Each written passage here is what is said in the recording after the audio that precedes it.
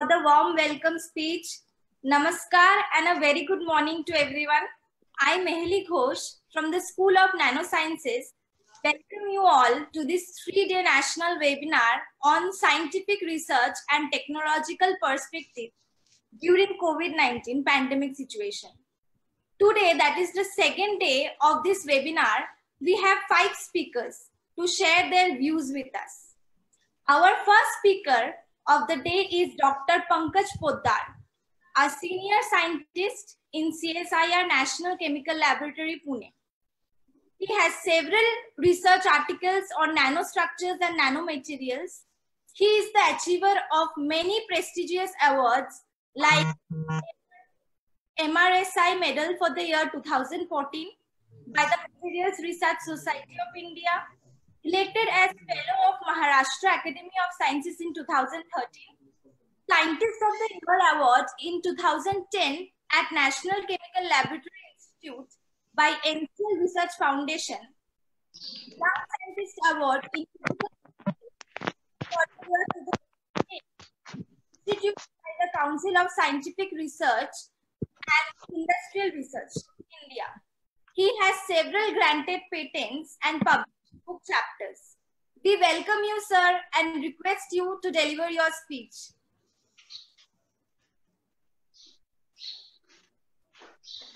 Uh, नमस्कार आप सभी को और professor Mishra miss Ghosh professor Ramlakhan Singh Shashibala Singh ji सारे सीनियर लोग हैं प्रतिमा जी और जो भी मुझे दिख रहे हैं और जो भी मुझे नहीं दिख रहे हैं, उन सभी को बनर्जी मैडम और सभी को मेरा नमस्कार।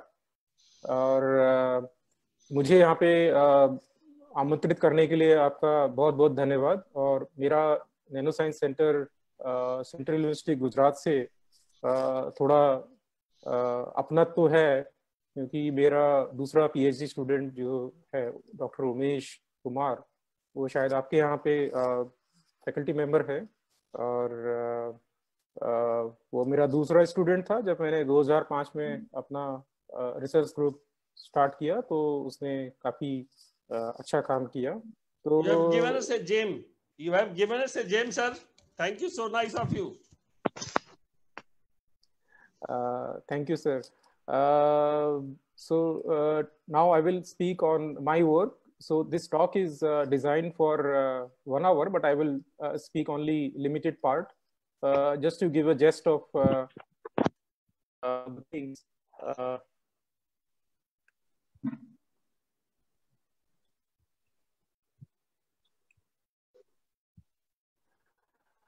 so I hope you can see the title. So the title is Multifunctional Platforms for Multimodal Cancer Cell Imaging Drug Delivery an in vitro and in vivo xenograft study. So uh, this is, uh, I'll keep it a uh, little bit toned down for the benefit of students. So senior people who are there in the audience, please excuse me. So multifunctional here, uh, we mean by uh, the materials uh, which can do more than one function. So in this material, what we have developed, so this has got magnetic properties and optical properties, and both are tunable at the same time. And multimodal cancer cell imaging means we, we can do uh, optical imaging as well as uh, magnetic imaging by the same system. And of course, it is a drug delivery vehicle. So this uh, one system was designed in a such a way that it can uh, deliver uh, the drug, which is doxorubicin in this case, to the uh, cancer cells uh, also, in collaboration, we did uh, with Samit Chattopadhyay. He's our long, long-term collaboration uh, collaborator, almost more than um, 12 years since actually Umesh's time. Umesh was the first person person we started collaborating with uh, Chattopadhyay uh, with him. So, um, so we did in vitro and in vivo both the studies, uh, xenograft studies. So basically, uh, for the benefit of students, so the tube, the cancer cells were grown and then they were grafted on nice model. So, uh, so I'll uh, move. I'll give you uh, some glimpse of uh, uh, our work. So this, uh, so we work on materials, various materials. So I'm condensed matter physics basically, but my first five students were from biotechnology area. Umesh is here and uh, Chandrasekhar is a scientist with the Dr. Reddy's laboratory. And many people are, Tuhin is now a faculty member in IISER Trivandrum. And uh, Raja is a faculty member abroad, and uh, he is also, uh, they're all faculty members in some central universities or abroad. And many of them are doing uh, postdocs. At, uh, actually, the Dheeraj is also a post, uh, faculty member at IIT RIM. I think it is in Ahmedabad. He's doing very good. He did my, he did postdoc with me after PhD in Banaras Hindu University in physics. So there is a there is there is a lot the long uh, story. So let me move to the keywords. So these are the keywords where we have been working uh, uh, in uh, last uh, few years. Um, so uh, our funding mostly come from industries, and these days we are funded by a lot by Glenmark, uh, Rasayu Cancer Clinic, and uh, uh, we have a project going on with Tata Steel these days in COVID, and many other Lupin and Cipla, of course, and Emcure is a long-term collaborator. Emcure is with us almost as long as I am at NCL, almost. So, uh, so these are the ideas. Some of these ideas uh, come from uh, these pharma companies, obviously, and I'm basically a simple physicist. So uh, whatever I'm showing you, this uh, this was done just because students wanted to do something in a variety of areas. Though my core interest is in hardcore condensed matter physics, magnetism. Uh, so, so, so the title uh, of uh, this talk I have already presented, but uh, uh, this talk is actually divided into uh, three parts. So I will be able to present only one part, two other very interesting parts I will not be able to present. So let us see how we go. And uh, please give me a reminder five minutes uh, before the, uh, because there are other speakers also waiting. So, sir, if, sir, you have you have half an hour in your hands, so you can summarize yes, in half yes, an I'll hour. I'll time myself, yeah. Right, yeah. sir, right, sir. Okay, sir, okay, sir. So if you can see that in the center, we, uh, you know, it's quite clear here that uh, in the center, you can see that this is uh, beta uh, NaYF4 uh, doped with gadolinium and terbium. This is actually a phos phosphor. I think um, students are aware of uh, phosphorescence, which was investigated by physicists for mostly for display devices for several, several, several decades and it is already in the applications, uh, whatever devices you see, mostly they are uh, phosphors uh, behind the screen. So uh, in this case, uh, this phosphor was modified in such a way that you, you excite it at uh, 273 nanometer and then there is an emission. also, it is it is having gadolinium doping, so it has a it has a paramagnetic ions. it, it is not um, uh, ferromagnet or uh, antiferro. It is just a paramagnetic uh, dilute impurities inside that. And also with some chemistry steps, we designed this with in such a way that we could tag doxorubicin on top of that. So, uh, so the advantage was that uh, when this uh, drug was, when this imaging system was, along with the drug was injected in the uh, in the tissues or in the single uh, around the sing, uh, single cell system. So uh, the, looking at the ph uh, environment uh, lowest ph environment this bond got cleaved and this this this dox was released. So it, so we we probe this using multiple systems. In fact dox also has a very its own strong system. So we could uh, uh, image it uh, using so many variety of problems. So this is we spent a lot of time in um, you know several years to probe it.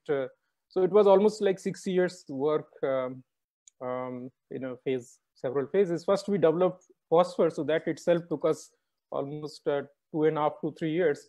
So this uh, advantage with phosphors as a physicist is that it has got a, uh, these emissions have got a high photostability and they're quite sharp and you can design uh, those uh, emissions uh, based on your requirement for Stokes shift or anti-Stokes shift.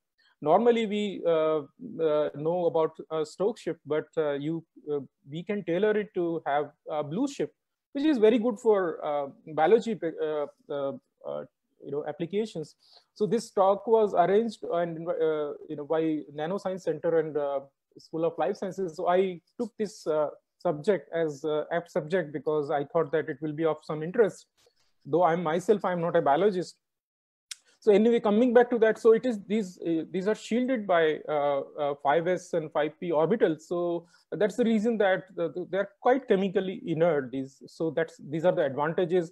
Also um, uh, you know uh, there are other advantages which i will uh, not anyway discuss here so as i said that you can do down conversion as well as up conversion Stokes shift and anti-Stokes shift both can be managed here and one can so host is uh, quite uh, uh, transparent with the large band gap. So NAYF4, uh, uh, sorry for this, this, deformation, I had to change uh, my um, office system. So there is some distortion I can see. so I'm using some open source um, office, I think LibreOffice. So there is, I can see there's some distortion.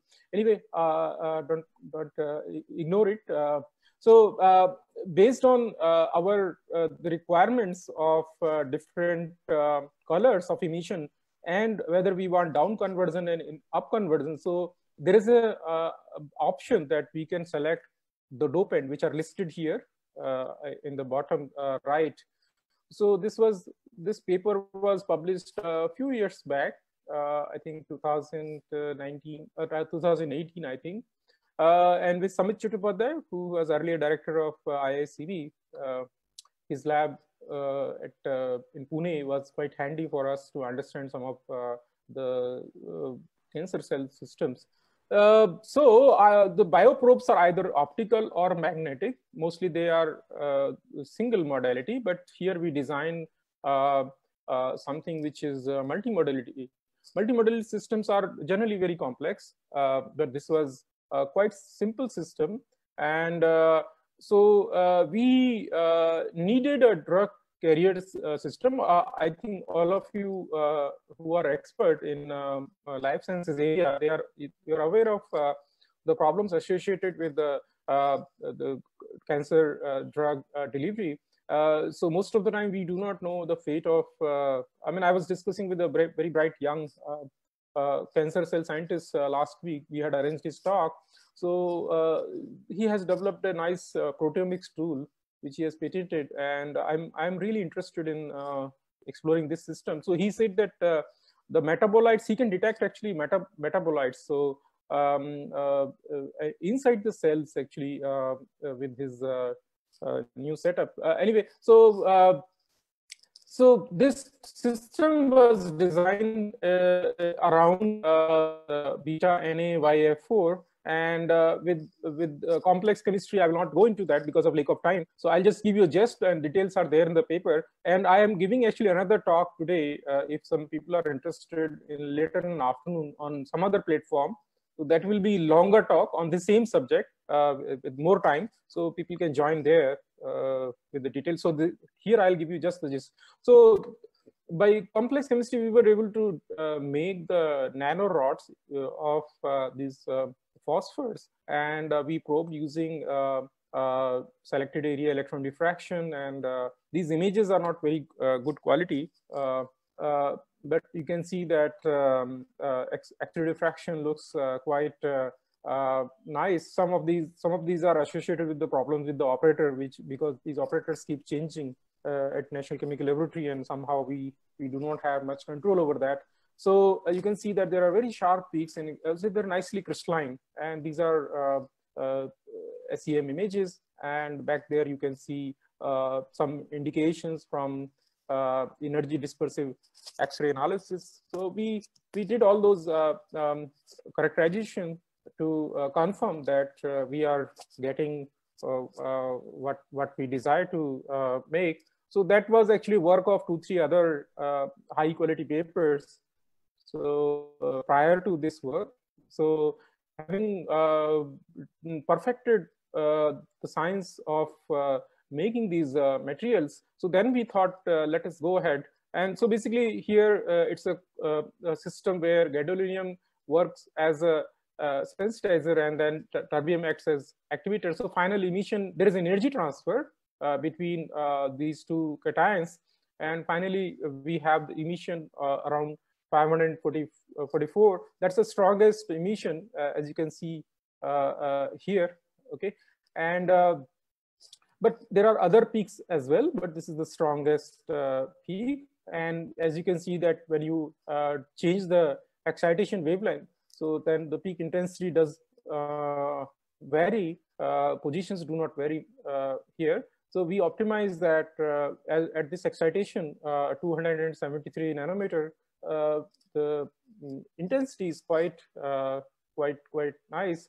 Quite. So this is time resolved photoluminescence. So where we plotted the intensity of with as a function of decay time and then uh, so then it was a fitted uh, exponential uh, curve so after that uh, we thought that uh, we will uh, tag this with the uh, doxorubicin. Doxorubicin was available to us thanks to our collaboration with the Emcure Pharmaceuticals. So as uh, the biologists who are attending uh, this audio, uh, uh this talk, they are aware that uh, normal physiological environment, ob obviously it varies, the pH range is not exactly 7.4. So, but uh, it's around that, it's I think the median, different systems, it really varies a lot, starting from our mouth, mouth to then, and anyway, so, so but it is taken as 7.4. So, uh, so we designed this uh, uh, pH sensitive hydrogen bond. If you can see this, uh, this here. So this was designed in such a way that when this uh, particle enters into the tumor microenvironment, so for example, inside the lysosome, the pH is quite low. So then this bond is cleaved and this drug is released. So using confocal uh, imaging, we could uh, see the, sig signal of uh, doxorubicin as well. Uh, I'll show in a, in a, and we could see the cells, uh, the fate of the cell as well. So then it was, uh, first it was characterized for release of dox from its conjugate. So it was, that was the first task that whether you prove it in, in a beaker Uh, both the physical mixture of doxes and uh, uh, these nanorods and also uh, the dox conjugated nanorods. So you can see that uh, the red curve shows that there is a increase in release of dox at the pH 5 and uh, this lower curve, black curve shows that at 7.4, there is a, a, a, increase but if you just take physical mixture, then there is no change, as you can see. So uh, obviously there was a role of uh, this, uh, this bond. So uh, next step, once you have uh, proved that this works, so next step obviously is that you look at the uh, toxicity studies. that's where Samit's lab came to our help. So, um, so this work was done by, again, one of my student, Preeti Padhe, she's quite good in uh, herself uh, in, in, in cell studies. So she she was able to do it uh, many of these things uh, by herself in uh, in which is very always open to us uh, for more than one decade. As I I would like to pay gratitude to our nice collaboration, long collaboration with Samit. So there are two two curves uh, here that uh, this is NIH 3, 3T3 fibroblast cells. So as you can see that the cell viability studies uh, for varying amount of concentration, this is scale is a, a microgram per ml. And uh, you can see that uh, uh, cell viability is, is, is not bad. So there is an error bar. You can see that. so the, having checked this toxicity against the uh, uh, uh, Uh, uh, uh, the normal cell, then next next step was that to look at the toxicity of dox conjugated rods. they when when we conjugate dox, then they also show low toxicity as compared to free dox. So you can see that uh, uh, free dox is a blue curve, and you can see that it it, it shows uh, more toxicity in comparison to the dox, which is which that was our aim actually that normal cells uh, should not uh, it should be low toxic to the normal cells. Uh, okay, so this was uh, indirect proof that uh, obviously there are uh, some questions that there is no directionality, lack of directionality because like people discuss with me that okay, you are from magnetism background and magnetism is so uh, interesting subject that you can do site specific delivery but that was not our aim here because there are already a lot of work in the site specific delivery but it was just a, a different uh, work. So uh, so having uh, uh, explored uh, that so that next next next thing was to look at the tox cytotoxicity of these amine functionalized beta NAYF4 nanorods uh, and free DOX as well as uh, DOX conjugated nanorods to MCF7 uh, cancer cells. So, so as you can see that this is this is a comparison. I would like to draw your attention towards panel B, where you can see that free DOX comparison is there. So obviously doxorubicin shows toxicity uh, towards uh, cancerous cells and you can see uh, sharp decay in the cell viability. But uh, when uh, we compared our DOX conjugated system, that, that also shows a remarkable reduction in the cell viability for, for our system where DOX was in much lower amount, much lower amount than uh, what uh, is given normally. Uh, so, so then we were we wanted to understand the mechanism uh, for uh, for this system. And uh, as I have already discussed the mechanism, but so so it was better that we could we could show the show the image. So so these are some of the confocal images you can see at different different um, time scale. So uh, left column, uh, 30 minutes, hours, and uh, eight hours and you can see blue uh, that the blue color and the red color and this is the superimposed uh, uh, uh color. So uh, left column shows uh, nuclei uh, cell nuclei uh, which is uh, which is tied for, suitably for the visualization. And you can see the reduction sharp reduction after eight hours. And but you can see that this is the DOX conjugated the optical signal from that and you can, you can see that there is an increase in the red uh, uh, uh, emission, which is actually 591 from DOX molecules. As I mentioned in the beginning that you can, DOX is also, DOX also gives a very nice signal. And these are the superimposed images for, for both. So uh, we investigated uh, from 30 minutes to eight hours. And this is uh, another comparative uh, Uh, uptake of free DOX and uh, DOX conjugated nanorods. Uh, and then uh, this again uh, proved our mechanism, which what we proposed in in the in the beginning. And finally, we did in vivo tumor regression studies in uh, SCID mice. Uh, so, uh, so, so you can see that sharp reduction in the uh, in the tumor size where doses were like around uh, 2 milligram per kg of the body weight. And the, uh, the animal was monitored for almost for four weeks. And so tumor regression was from 12 mm to 5 mm within four four weeks. So uh, so again uh, so this uh, one more supportive study is that we could see the FRET uh, Uh, based uh, uh, signal that uh, there was uh, increase in the luminescence intensity of nanorods when this uh, DOX was released. So this, uh, you can see, uh, I don't know whether you can see this lower one. So as a function of time when DOX got cleaved, so this, the, the, quenching was reduced and then we could recover the signal of, so this was another indirect evidence of, of the system. And finally, we took, uh, student took effort to look at the uh, MRI uh, signals of this system because gadolinium has a very uh, strong uh, uh, uh, magnetic moment, 7.94. So of course, there is no exchange interaction because gadolinium ion is lightly doped, but it has a strong paramagnetic signal.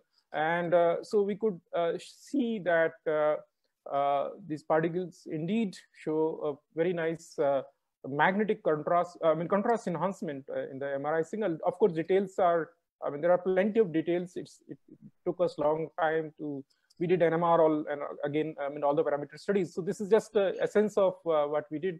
So in conclusion of the first part, I would like to uh, mention that uh, we could make this uh, system multimodal system and multifunctional system where this drug uh, was, uh, I mean, drug uh, release was possible in the tumor environment directly.